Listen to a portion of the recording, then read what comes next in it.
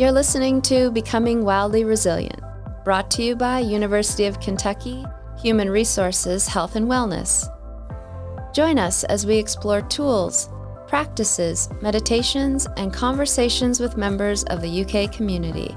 Together, we will discover how we can thrive at work, home, and beyond.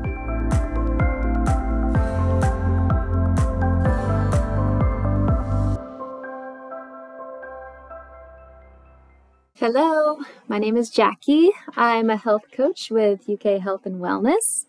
I am thrilled and honored today to share a meditation practice around the topic of social connection.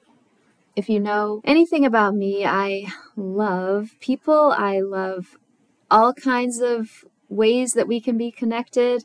It's been a joke that I could be a greeter at any organization because I could literally strike up a conversation with anybody. If that's you, great. And if it's not you, great. All of us as humans, that's how we're made. We are made to be connected. We are made to feel like we belong. We are made to feel we're not alone. So, in our meditation today, let's stay open and curious about how we can add more social connection to our life. Sitting back with your eyes closed, preferably, and breathing.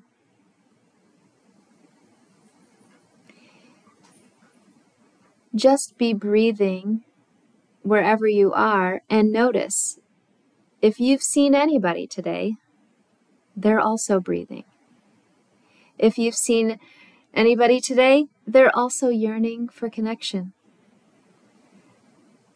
No human escapes this desire to want to feel like they're not alone, they belong, and they're wanted and appreciated.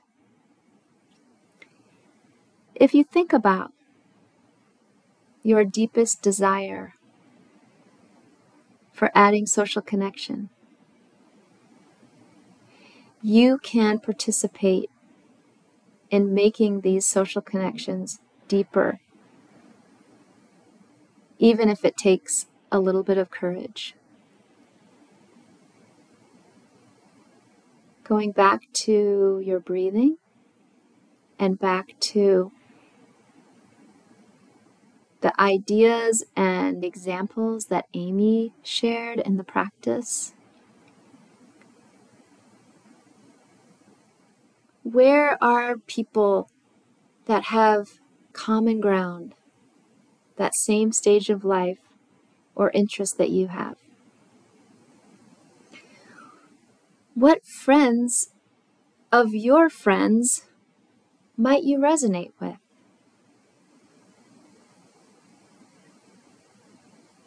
What types of groups? Volunteer groups, spiritual groups, sporting groups would you love?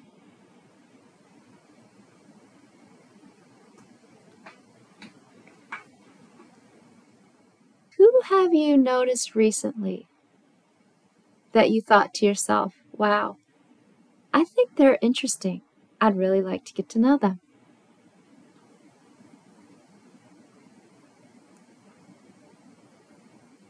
Instead of waiting for someone to approach you, what if you took the courage and sent them a text and asked them, hey, let's grab coffee. Let's go for a walk. For me, I would say, let's go do yoga. Whatever it is, find somebody that you could reach out to. And that would get the ball rolling because that person could lead to another connection. Not that you have to have a zillion friends, but meeting new people learning about other people's lives is truly what being human is made for. We're made for connecting, talking, supporting, encouraging, and allowing each other to be who we are, validating who we are.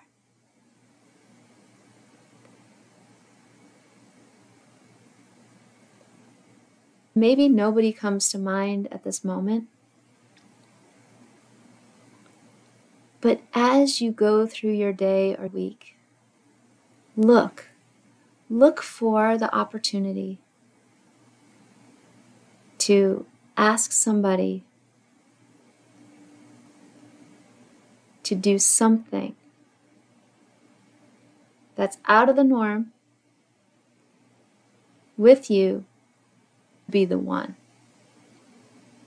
to make that connection. You'll never know. It could turn into a lasting friendship for years to come. So take a deep breath in. And as you exhale, I wish you an amazing week and let your eyes blink open with a smile. I'm grateful you are about to go make somebody's day. Thank you for listening. Have a wonderful rest of your day and take good care. Thank you for listening to Becoming Wildly Resilient. This podcast is brought to you by University of Kentucky Human Resources Health and Wellness. We offer a wide range of online and in person services to support the well being of UK employees, retirees, and their spouses. You can find experts in mental health, personal resilience, nutrition, and physical activity. We're ready to meet you where you are and address your unique needs. To learn more about the work life and well-being services offered by UK Human Resources, visit hr.uky.edu/wellbeing. You can also connect with us on social media and YouTube by searching at UKY Wellness or by email at healthandwellness at uky.edu.